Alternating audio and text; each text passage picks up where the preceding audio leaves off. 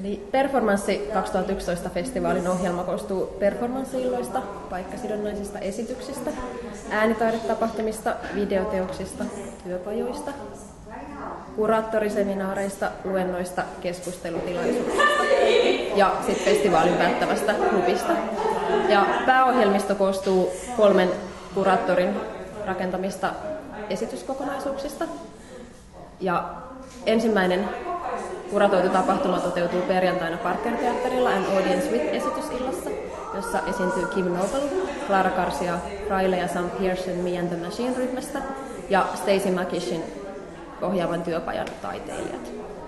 Ja lauantaina Christopher Hewittin kuratoima paikkasidonnaisen taiteen kokonaisuus nähdään eri, kolmessa eri paikassa Turussa. Ja siellä esiintyy Sean Robinson Davies, Andres Galeano ja Jeke Trinks. Ja sunnuntaina Kimmo Moodykin kuratoima äänitaidenäyttely nähdään sitten Titanic Gallerialla, jossa on teoksia kahdeksalta sekä suomalaiselta että kansainväliseltä taiteilijalta.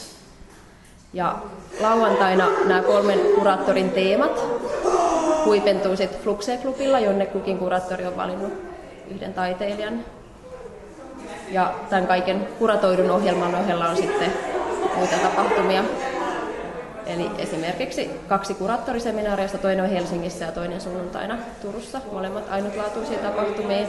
Ja sitten on erilaisia keskustelutilaisuuksia, luentoja ja esimerkiksi äänitaidekahvila Cafeessa perjantaina.